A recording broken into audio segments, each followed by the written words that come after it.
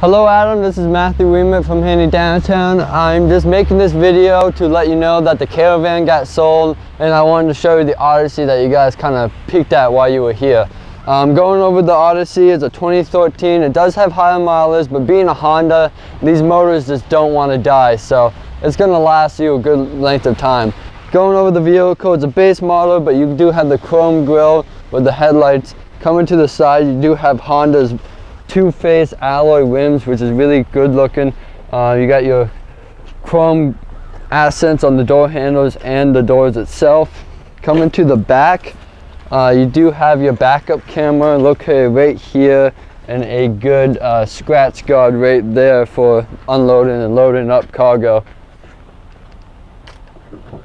Lifting up the lift gate, you do have your, the third row stowaway seating um, with the all-weather floor mats located underneath. Um, the only difference between this and the caravan is that the second row are not captain chairs and you don't get the stow and go with the second row. But I think the um, setup is a little bit more room up there and a little more comfortable for a ride. Uh, you do have power side doors, which is something that the caravan lacked. Um, but you have your buttons for them right here and on the key fob and up front. But cloth interior, there's no stains or anything. Um, kind of an older school looking cloth, but it's definitely a good fit and you can slide the chairs forward and back and all that.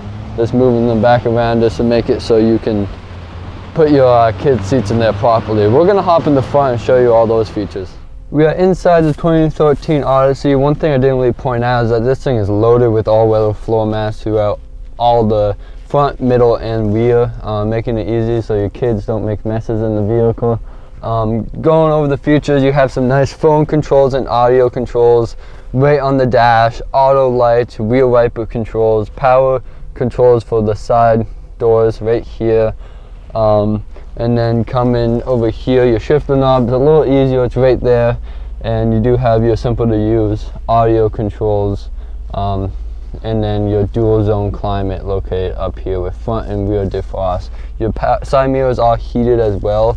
And then you have this really nice display screen giving you all kinds of different information. It's not touchscreen or anything, but it's just a nice display screen for your gas mileage, your economy.